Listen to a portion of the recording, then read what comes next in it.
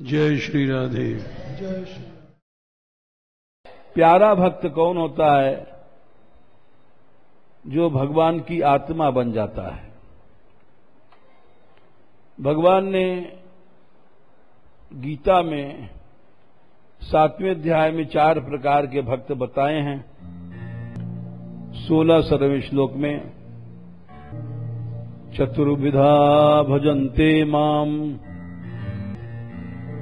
जना सुकृतनोर्जुन आर्तो जिज्ञासुरर्थार्थी।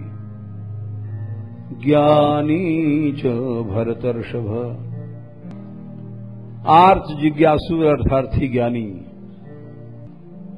उनमें तेषाम ज्ञानी नियुक्तियुक्त एक भक्तिर विशिष्यते। जो ज्ञानी भक्त है वो सबसे श्रेष्ठ है। प्रियो ही ज्ञानिनो त्यर्थम अहम सच मम प्रिय। उसका मुझसे प्यार होता है, वो मेरा उससे होता है, बस। ज्ञानी भक्त का भगवान के अलावा और कहीं प्रेम नहीं होता। न अपना शरीर, न अपना सुख,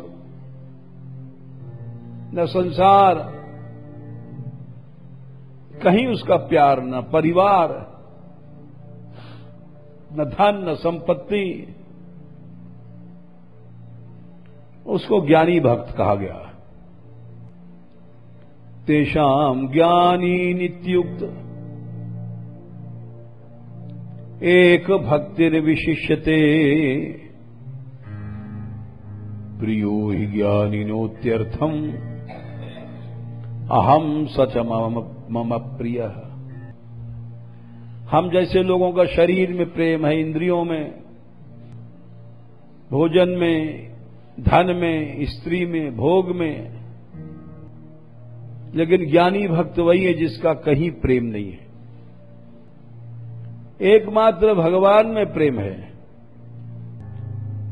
भगवान ही उसके माँ हैं, भगवान ही पिता हैं,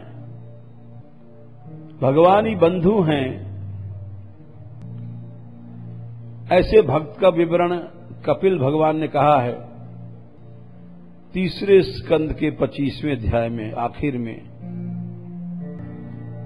न करश्चित मत परा शांत रूपे नंक्षंति नो में निमिषो लेढ़ी हेते। हैं ऐसे भक्त को काल नहीं खा सकता। और उसका विनाश भी नहीं होता। कैसा है वो? ये शाम हम प्रिय आत्मा सुतश्च। सखा गुरु, सुहृदो दैवम इष्टम जिनका सब कुछ मैं ही हूँ। प्यारा मैं हूँ, आत्मा मैं हूँ, बेटा मैं हूँ, सखा मैं हूँ, गुरु मैं हूँ, सुहृद मैं हूँ। उसको ज्ञानी भक्त कहा गया है। यानी प्रेम, अनन्य प्रेमी भक्त को ज्ञानी भक्त कहा गया। कृपा करो कृपा करो